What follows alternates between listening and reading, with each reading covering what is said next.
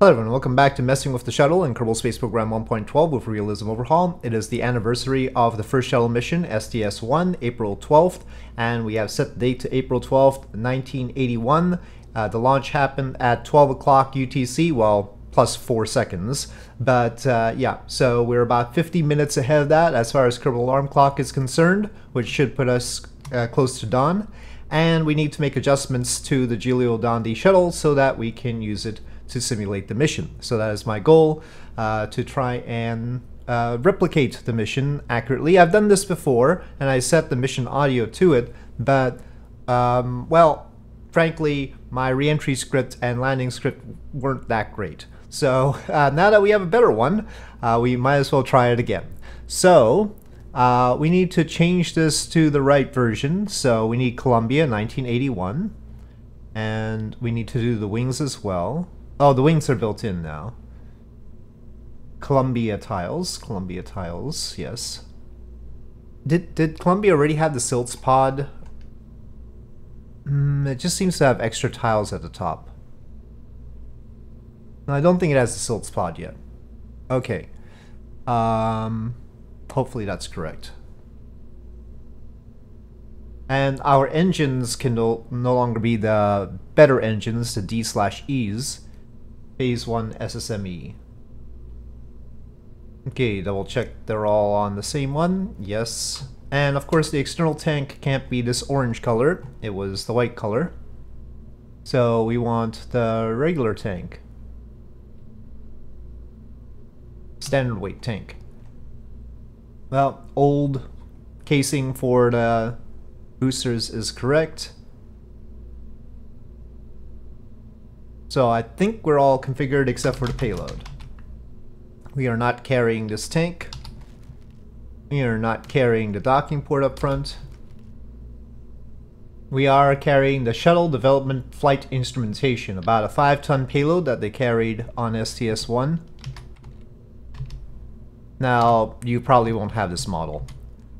Um, I think I have to attach it to the bottom there. So we'll need a little makeshift node on the bottom of the bay here. I thought that brace was side to side, but I think it's actually forward and back. No, okay, this is this is the way it is, I think. All right. So there we go. That is the development flight instrumentation kit and that is the payload for STS-1. Again, a custom model, you won't have that. You'll have to make boxes all on your own if you wanted to try this. The launch site is, of course, SPAD 39A if you're using Cape Canaveral HD. And I've got extra scenery added, so that's from real launch sites. I have set the launch script to an apoapsis of 246 uh, the cutoff altitude, uh, I was told to keep the same for this particular launch script. It's at 112, even though they cut off at 118. The inclination is 40.3 for the mission. And actually, they were supposed to get into 240 by 240 circular. They ended up in 248 by 246. But that may have been because of the uh, delay, because they launched two days late. So that might be the thing. Uh, they had to scrub the first attempt. We'll inevitably be a few seconds off, probably. And our Kerbals aren't named properly. Actually, we should at least only have two Kerbals in. Hold on. We will have a Mark Moreau and Gail Edwards for some reason there's a Kerbal renamer thing in here, so the Kerbals don't get proper Kerbal names. Technically, the initial orbit might not be 246 or 248, because they did OMS burns after that. I mean, of course, you need at least one, but they probably did two. Unlike John Young, I won't be taking manual control on landing. I'll let the system try to land it. Well, I'm gonna start the script now.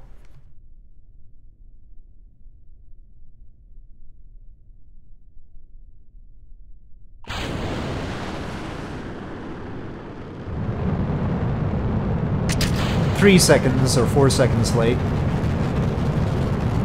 And off we go.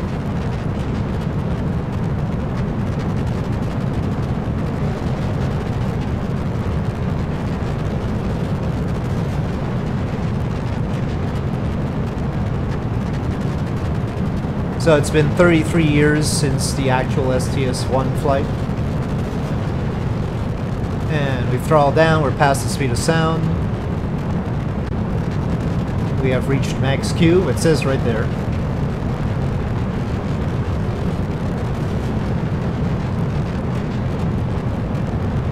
And back throttle. Well, let's get the... Since it's under control, I mean, we can just get this view. Not a whole lot of clouds today.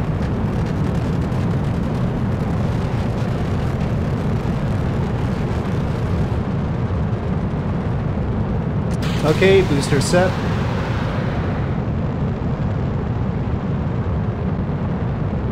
That still needs to happen cleaner.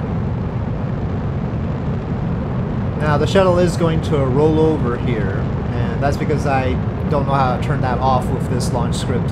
Uh, but the on STS-1 it did not roll over because they hadn't launched the TDRS satellites, the data satellites yet. And it rolls over for connection with those. Though I sort of like it to roll over anyway because it makes the separation of the external tank sort of nicer. Just an aesthetic thing. Also, uh, not bumping into a thing. Inclination-wise, we're getting there. At 39.5 out of 40.3 is what we want.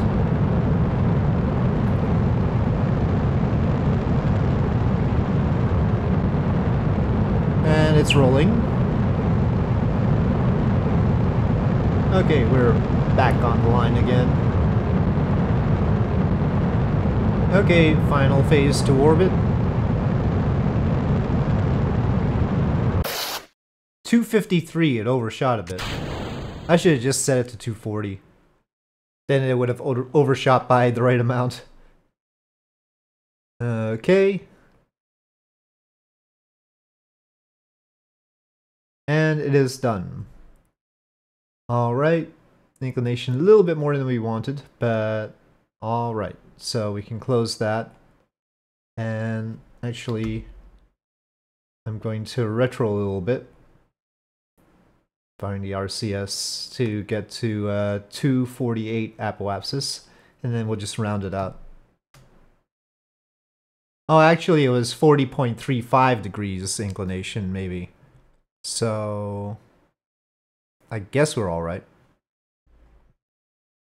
Okay, over Africa here, Ethiopia-ish.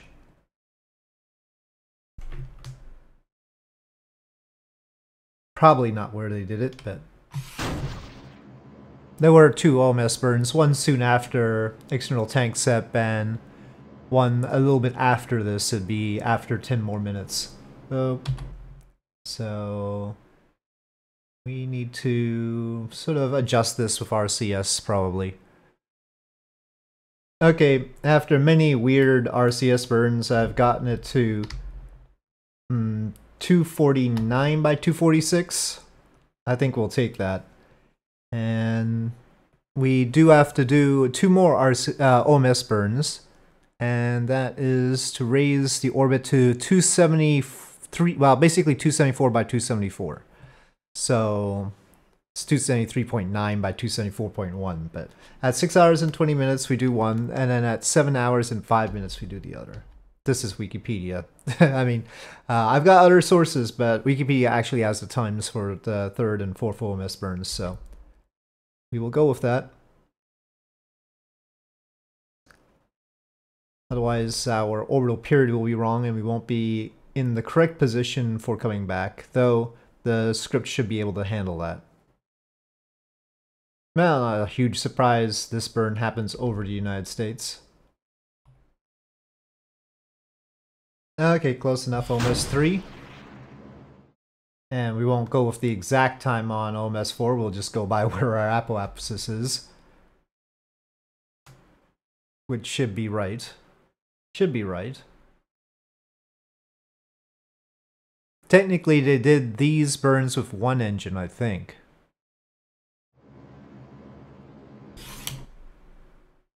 Okay, well that's probably as close to 274 as I'm gonna get it. Alright, 274 by 274. There we are. It's basically the average between those. So, we've got that. And we really just need to worry about coming back as far as what we can do here. Can't do any special experiments.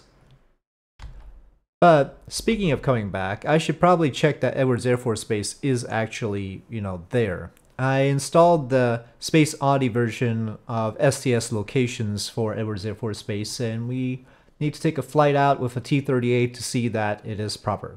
So I'm gonna save, and we will see about that.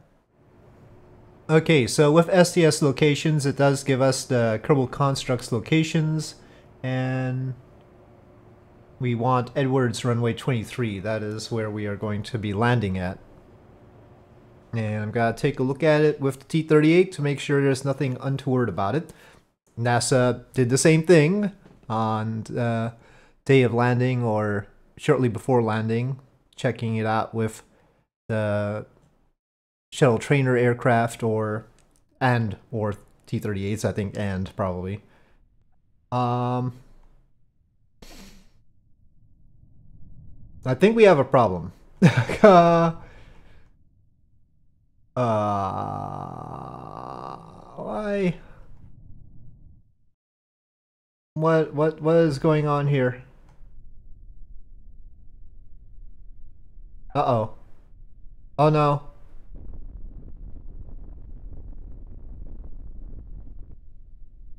Um I mean, I see markings down there, but that's it's just not right. this is this is a problem. Uh-oh. I'm just wondering what's going to happen. Okay, well, well, the ground is there, but this does not look like Edwards. I don't know what's going on here. This is the first time I've used uh, STS locations, but I think it's safe to say something's gone horribly wrong here. I had tried Ballistic Fox's Edwards scenery, and that's much heftier. That actually worked a little bit better, I think. Um, but not well enough that I decided to use that either. Uh, maybe it's... I had placed that runway there. Maybe that was my mistake. Hold on. Let me see what's going on here. Local instances. Well, we don't want I think we don't want that. That might have been me. But then we have this thing. The spaceplane hangar is floating above the surface. We see a runway down there. It's really, really bright. And we, we maybe we should just not have these either. This is the spawner. Okay probably want this down. I mean, landing wise, I mean, it depends on whether the shuttle knows where to land, right? But this is a really bright thing. There's another thing floating there. Okay, no, I think this is a problem. I'm I'm just gonna bring in my own Edwards. uh, for some reason, everybody else's Edwards seem to have problems. Okay, will my own Edwards landscape have similar problems? The issue is potentially that I have RSS Reborn in here. So things should work with it. Um Okay. Well, I don't know what oh that that runway does not need to be there. Okay, so we're we're good. My my landscape works. At least even with RSS Reborn it looks like. But we have to measure it out for the sake of the landing script. So first of all, let's get rid of that extra runway floating up there. It's actually a little bit too clipped into the ground. Um, should be a little bit higher up, potentially rotated differently. But this is the, let's see. The shuttle will be coming in from that side, and this is not the runway. It's that one. So, alright. Let's let's taxi. but yeah, the heading is subtly off here. And also, part of the scenery seems to be clipped into the ground. And I don't know what's going on with the little texture that we've got. So uh, I think it's the shadows.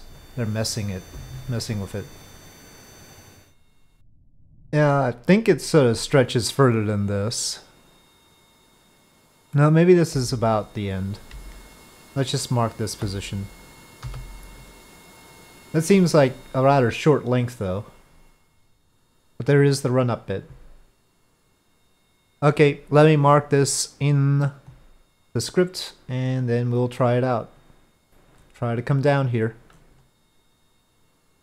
It's only a 210 instead of 230. So we've got that little mistake. It's possible that my landscape just isn't scaled right here. And actually it should be scaled larger. Because the runway is too short. It's only 4,000-ish when it should be 5... Well, it actually should be more than 5,000. I think. I think. Okay, anyway, but for now, it should work. Okay, time to wait around a bit.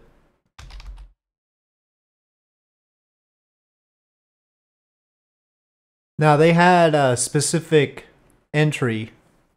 It was zero kilometers. The periapsis was zero kilometers for the reentry.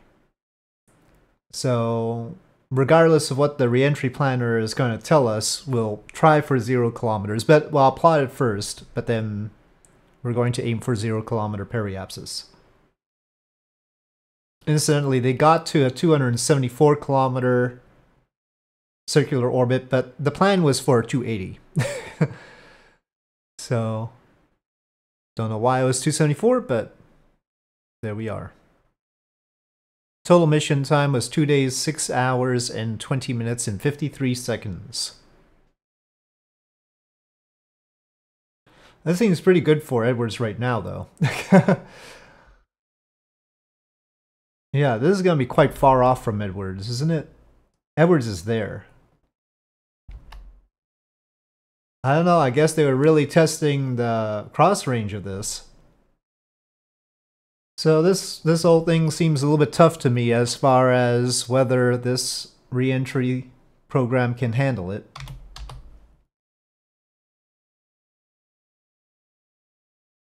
We will see. It doesn't want the 1.2, it wants just a 1. Okay, this gets our range nice.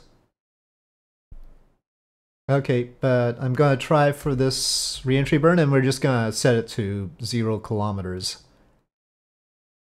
we have to adjust our position quite a bit. It's changed a lot. Let's close up making sure to pitch up a little bit for the OMS thrusters. Now there is a node executor that comes with OPS 3, so you could use that if you want. And it, I think, compensates for the tilt of the OMS engines, at least Giulio Dondi said so. Okay, go. So, according to the notes, uh, this is on Wikipedia again, um, Columbia had to maneuver through 362 miles of cross range, or 583 kilometers. So, and it says roll into a right bank was flown. So, yeah, well, we will have to go right, that's for sure. Is the gap going to be 300? Yeah, I guess it's about right. 362 kilometers. Alright, sorry, 362 miles, 580-ish kilometers. Okay, well, I guess we're on track. Okay, well, that's as close to zero as reliable to get a uh, few meters, but by the time we turn around, it's going to be completely different. Okay, atmospheric interface time. Oh, the lighting effects are really weird today. We have dawn on the horizon. And we can only run the script at 122 kilometers. Okay, that's off. And go. So, and then we set DAP to auto and uh, Edwards. And runway 21 in this case. It's supposed to be 23, but we've got misaligned a little bit. Let's just sort of hide that behind this one. Ah. And I don't need Kerbal Alarm Clock anymore. Here we go. Let's see if it can manage it. Oh, there had been an air brake problem before. Um, we needed to switch this one to inverted so that it goes the correct way. Yep, it's waiting until it's properly atmospheric before starting its roll. And it sure will roll. In this case, I don't mind it rolling severely because it needs to use the cross range. Here we go. It is rolling. in this case, I'm just not going to interfere with it. If it misses, it misses. It's going to be under its own whims. We've tested it enough for uh, in other situations. We tried it out at a 1.4 uh, degree slope in and in that case, it didn't quite make the runway, but I also interfered with it in that case, so we'll just see. Maybe 1.2 will be alright. I think I'll have to up the quality of my Edwards Air Force Base. That might be a good idea. It's been pretty firm here. We are still very much over the Pacific. We're down the middle of the channel, so it's not like we are hitting the bottom boundary or anything, so 1.2 doesn't seem too bad in this case. Especially since we have to use so much cross range, I think. Not that much. I mean, it's not like the limit of the cross range. It's like middle. In the middle of the cross range capabilities. Okay, we do have some overheating though. That is interesting. But we've turned so much that we're pretty much in line with Edwards now. You can see the location there and our track. So we've already handled the cross range. We'll go a little bit further and then roll reverse, I presume. Okay, roll reversal.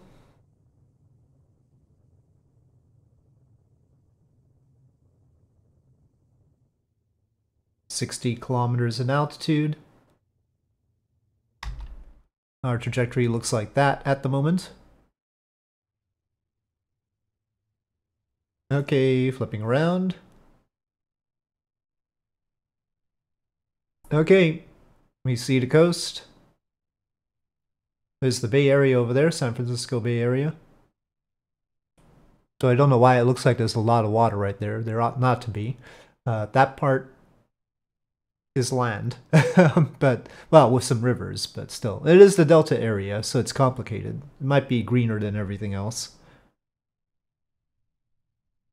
And it is reversing, which it should, definitely. Well, I can't quite see where Edwards is right now. Let's see the map. Okay, so Edwards is there. It's turning right right now, which is probably a good idea. Seems like it's right on track here. The clouds and the shadows that they cast aren't looking great right now, though. Maybe I should throw in the volumetric clouds in here. Okay, it's turning. I still don't really see the site. The clouds are in the way. Good thing it doesn't have to worry about that. Well, I did not expect to be completely clueless about whether we were approaching properly this late in the game. I thought we would be able to see the terrain, but the clouds are causing a problem for that, so... Well, we're gonna find out eventually. In real life, they probably would not have liked to have a cloud cover like this over the runway. Well, definitely would not have had the shuttle land like this. It's a good idea to have the pilots be able to see the location. Well, gosh, I don't know what's going on down there. Uh, oh no. Okay, it did that. I must have staged it somehow. We'll have to do the braking manually. I don't know when that got activated. Please let there be land. this is looking very ominous right now. Oh, it's oh, it's so dark because of this is no fun. Okay, I see the runway, but I need to like turn off the clouds. Okay, well, yeah. This is not very easy to see. Darn clouds. Uh, here we go. I think this is a reason to put volumetric clouds in. Oop.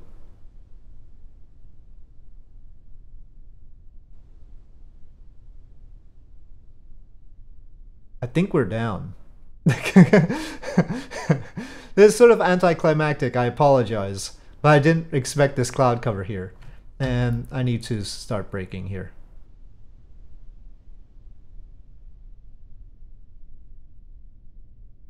Okay, now we can see the runway that we saw earlier. And the program ended itself because we were slow enough, I guess. So it is here. Let, let's let the shadows pass a bit.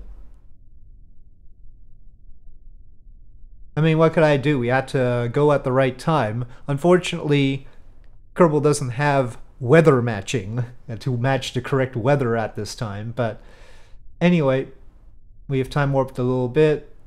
And, well, that's looking a little bit more like Edwards. All right, and we landed. So the script worked. Uh, we went through it, and things seem all right. So there you have it, STS-1, a simulation, sort of. With that, thank you for watching. I hope you enjoyed this video. If you did, please do press like. If you have any comments or suggestions, please leave them in the comment section below. And I'll see you next time.